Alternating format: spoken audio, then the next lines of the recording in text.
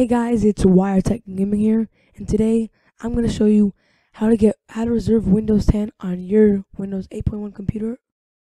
Okay. So today, so what you got to do is first of all, you got to have this Windows Get Windows 10.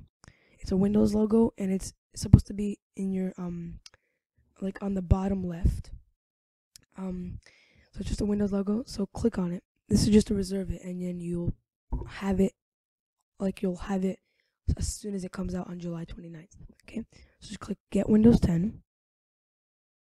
Okay. Okay, so you can let's see a couple of it. So um, now it wants me to reserve my free upgrade. So I'm gonna reserve my free upgrade. Okay, so now it's updating. It's now doing it.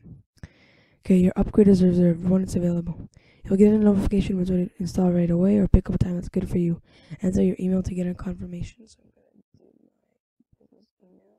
Is the email actually allowing you to know.